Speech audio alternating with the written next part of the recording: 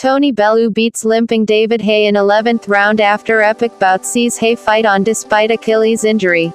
After months of trash talk the pair finally settled their grudge match in the ring, and it more than lived up to the hype. Comments. BYJOE Mewis. 2330, the 4th of March 2017. Haye and down with an apparent Achilles problem, photo, Reuters. Get daily updates directly to your inbox. Tony Bellew claimed a stunning upset when he stopped David Haye in the 11th round round after the London fighter could barely stand up after appearing to injury his Achilles in an epic fight. Haye picked up the injury in the sixth round and could barely stand, but bravely fought on using one leg until his corner threw in the towel in round 11.